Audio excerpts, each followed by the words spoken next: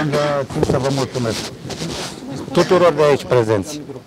Deci țin să vă mulțumesc, fără dumneavoastră nu cred că s-ar fi putut uh, s-ar fi putut ajunge aici măcar ca și amânare. Măcar ca și amânare. Cum vă simțiți astăzi? Ce sentimente vă încearcă? Trăiesc cu speranța încă. Trăiesc cu speranța că se va face dreptate într-un final. Cine va prelua, sper să preia altcineva, din suflet îmi, îmi doresc lucrul ăsta, pentru că se vede, s-a văzut foarte clar, doamna judecătoare, doamna Ancuța, mie așa îmi place să spun, doamna Ancuța, uh, a fost din start de la prima înfățișare, la prima ședință, a fost depășită. Uh, și chiar îi mulțumesc că a acceptat să, să retrag așa discret. Credeți că prin faptul că a amânat acest, acest, acest termen se cunoaște cumva o vină?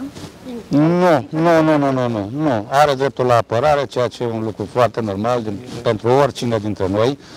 De aceea nici n-a fost, nu s-a prezentat ieri, când, alaltă, ieri, ieri, să nu greșesc, chiar nu vreau să greșesc. Așa, uh, pentru a cere o amânare și așa mai departe, să se poată apăra și dumneai de ce s-au comis uh, anumite erori și de ce s-a ajuns în situația aceasta de a se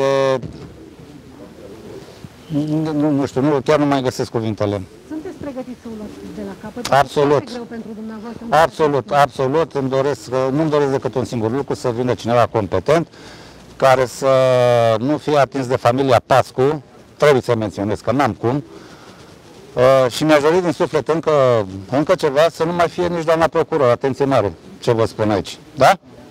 Nici doamna procuror din sală. Ce v-a deranjat la doamna Ce m-a de- deranjat la primul termen, când am avut prima ședință, a fost un domn procuror, ok, la al doilea termen a apărut această, acest personaj, care nu era pe lungime de undă cu doamna judecătoare Ancuța, Uh, după care s-au sucit lucrurile, nu mai, a fost chiar foarte de acord cu doamna Ancuța.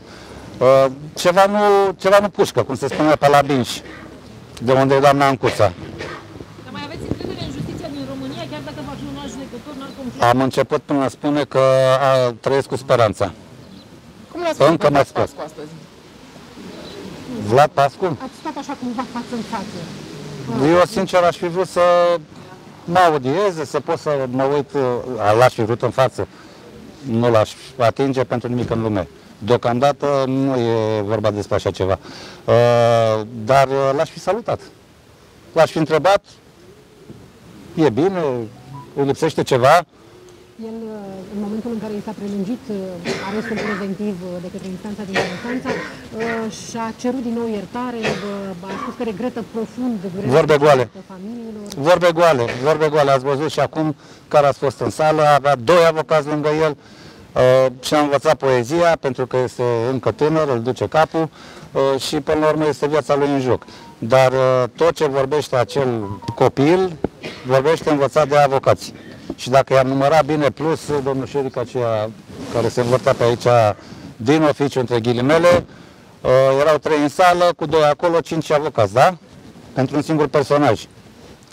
Uh, încă o dată mă repet, uh, am mai fost cu unii colegi de-ai dumneavoastră în direct, pe unde eram eu cu serviciu. Uh, îi transmit încă o dată domnului Mihai Pascu să-și vadă de treaba lui, să fie măcar o dată bărbat în viață, să accepte, așa cum și noi, părinții, suntem bărbați și ne acceptăm soarta că nu mai avem copii.